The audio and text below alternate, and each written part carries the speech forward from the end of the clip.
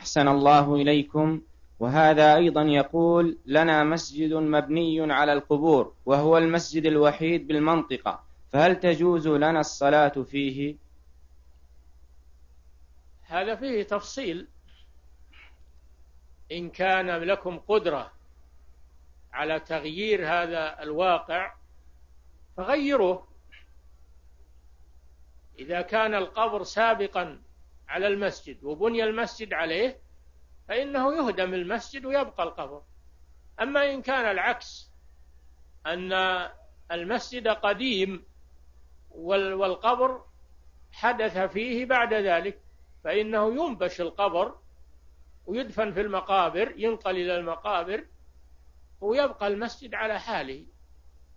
يفرغ من القبر. إن كان لكم قوة وقدرة سلطة أما إذا كان ما لكم قدرة ابتعدوا عنه وصلوا في مسجد ليس فيه قبر. لا تجوز الصلاة ولا تصح الصلاة في مسجد فيه قبر لأن النبي صلى الله عليه وسلم نهى عن اتخاذ القبور مساجد أي مصليات والنهي يقتضي الفساد. ولأن هذا وسيلة من وسائل الشرك.